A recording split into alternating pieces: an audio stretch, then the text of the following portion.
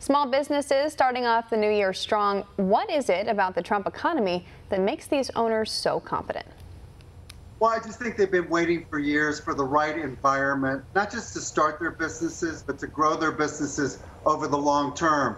And a lot of the statistics that you mentioned are the same ones that we're hearing from our small businesses. They're very happy and feel that they've benefited from tax reform. They'd like to see more tax reform in the future. Also, the regulatory reform. That's always an untold story. Whenever you reduce regulations on small businesses, they can put more of that money to work in their businesses. So not only are they overwhelmingly optimistic about what's going on right now, but many of them are looking forward and are very optimistic about the future, which changes their decisions in terms of hiring, uh, expanding operations, filling inventories, etc. So we just want to make sure that we keep this great economic environment going, not only for this year, but in the years to come. Uh, we talk about the optimism that we're seeing among small businesses, but one thing that does continue to be a struggle is the labor market. They're facing an increasing shortage of workers to fill open positions. What changes have small businesses had to make to attract employees to work for them? Well, a lot. You know, they've got to do uh, a lot more with less in terms of their workforce. Uh, some of that is because the unemployment rate is at historic low. Uh, you know, uh, when I was in government, we used to say 5% was uh, full employment. We're under 4% right now. And so they're having to do more with technology. They're working longer hours, but they're definitely looking for the workers of the future. And that's going to be a continual uh, issue and challenge for them in the years to come. Uh, we need to make sure that we're training people up, getting them new skills. Uh, we need to make sure that more young people are going into business. And uh, but I, you know, it's kind of a good problem to have but you know, the workforce is the most important asset for a small business. They can usually take care of a lot of the other issues themselves, but they need more people to help them grow and scale their businesses. You talk about uh, small businesses looking for new tax cuts. A new Gallup poll that I mentioned found the majority of small businesses say they've benefited from the 2017 reform.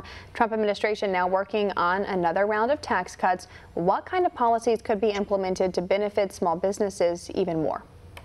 Well, as you know, most small businesses file their uh, taxes as individuals, subchapter S corporations. And so the last tax reform that happened, it was good for small business. It was better for big business. And so small businesses are still looking for a little bit more room, for more of that money to come back to them. At the end of the day, it's their money. And if they get more of that money back, they can put it to work in hiring people, buying technology, uh, doing international trade, and many, many other things. Uh, obviously, anytime that we can incent small businesses for investments that they're making, for them to be able to take deductions uh, in the year that they're taking them, that's always a very positive thing as well. So it'll be very interesting to see uh, what the, the next package of tax reform looks like.